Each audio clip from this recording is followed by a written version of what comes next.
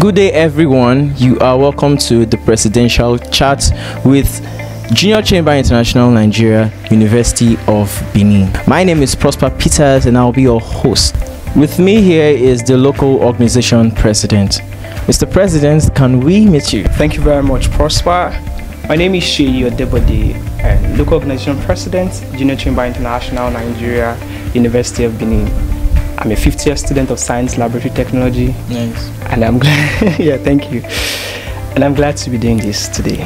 Okay, so to begin with, how does it feel being the president of a prestigious organization? Exciting, Okay. challenging. Please give me some more words. That's how it has been so far. It's exciting to lead a group of young people who provide development opportunities that empower themselves to create positive change. It's challenging because you have to lead people, you have to handle resources, and coupling all this together can be sometimes tiring. But in all, it's been a learning experience for me, and I'm super excited to be doing this. We hear you're the mega agenda president. So, what does this MEGA really stand for? Can you just explain to us what it's all about? All right, thank you. MEGA is the acronym for M, membership growth and retention, E, engagement and empowerment, G, grand initiatives, and A, alliance for strategic partnership. Now, MEGA is the presidential theme for this year. This year, we're looking at growing our membership and also retaining our members.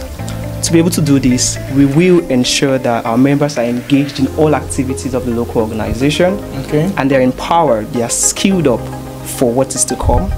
And this year we're introducing grand initiatives. For example, we have the introduction of the secondary school outreaches, the 10 Outstanding Students Awards TOSA, and also the Gift a Girl Child a PAD project. These are grand initiatives we're bringing in. And finally, Alliance for Strategic Partnership.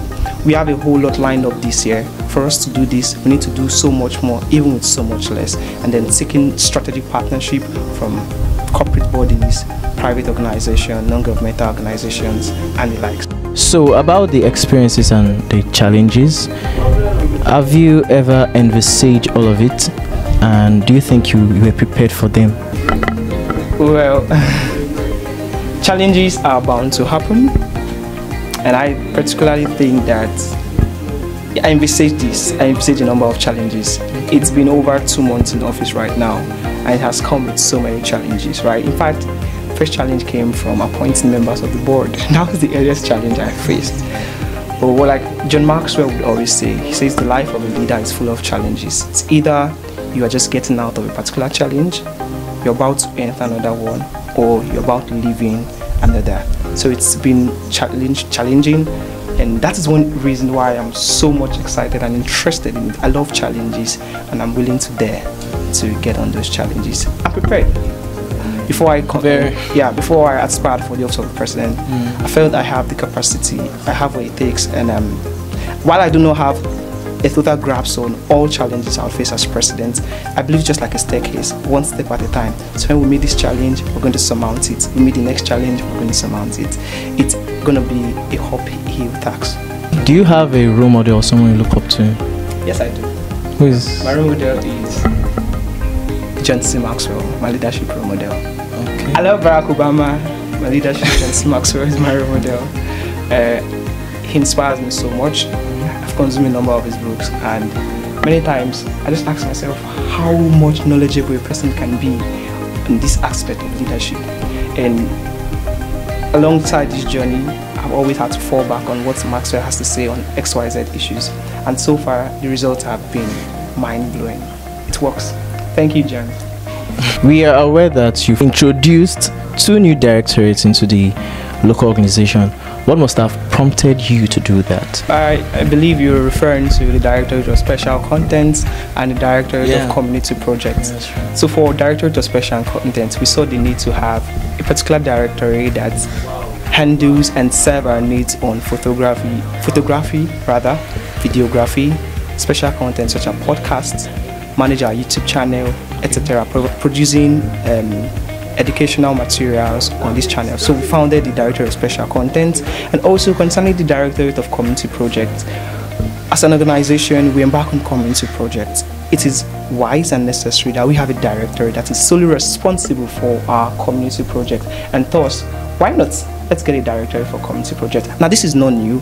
I can remember vividly in the year 2019 we had a director of community project but um, successive administration after that probably they felt there was no need for it. But i thought to reintroduce the directorate of community projects, and so far um, the guys are doing very well there. Talking about jci mega agenda and your studies i would like to know how you are balancing school and the local organization?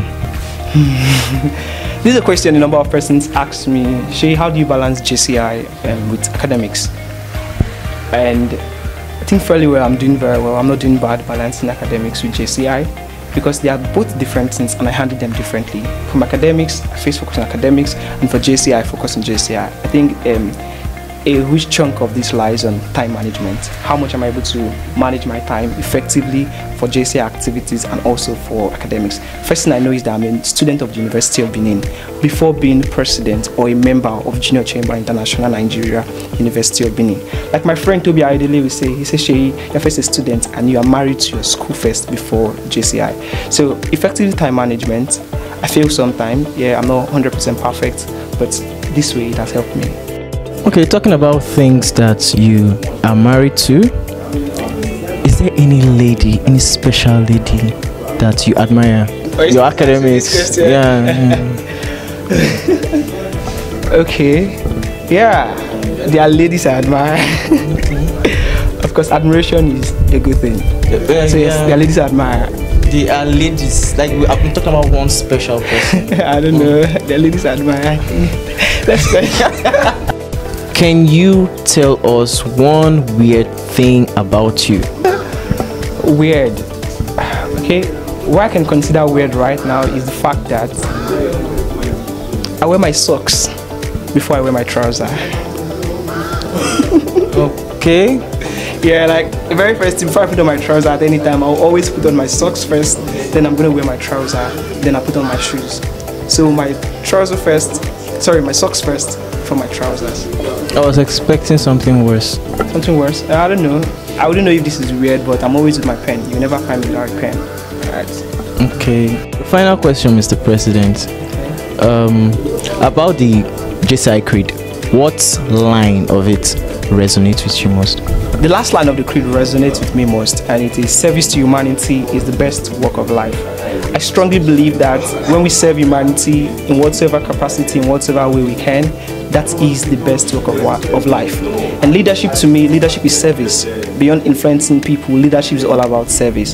So the last line of our creed, service to humanity is the best work of life it resonates most with me. Thank you, Mr. President Seyi Odebode, for coming out for this presidential chat. Thank you very much. Yeah, we look forward to seeing you doing great things in the local organization. Thank you. Thank you, sir. Thank you, sir. And now we've come to the end of the presidential chats. Thank you so much for joining us. We look forward to having and seeing you next time. Please like and subscribe our YouTube channel and see you next time.